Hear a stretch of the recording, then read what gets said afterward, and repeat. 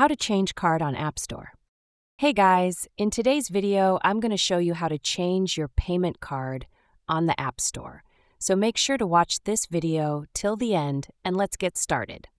First, open the Settings app on your iPhone. Right at the top, you'll see your Apple ID name and profile picture. Go ahead and tap on that. This will open up all your Apple account settings.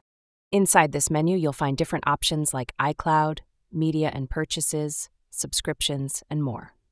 What you need to select here is payment and shipping. Once you tap on it, your iPhone may ask you to confirm your identity by entering your Apple ID password or using Face ID or Touch ID. This is just to make sure it's really you making the changes. After you're in, you'll see all the payment methods currently connected to your Apple ID. This is where your App Store and iTunes purchases are billed.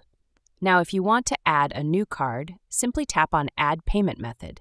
You'll get the option to enter your card details manually, like the card number, expiration date, and security code. Or to make things faster, you can just use your iPhone's camera to scan the card. Apple will automatically detect and fill in the details for you. Once the new card has been added successfully, you can make it your default payment method. Just drag it to the top of the list or select it as the primary card. This way, whenever you buy apps, subscriptions, or any in app purchases, the payment will be charged from this card. This is the easiest way to control the card payment on your Apple device. And that's it.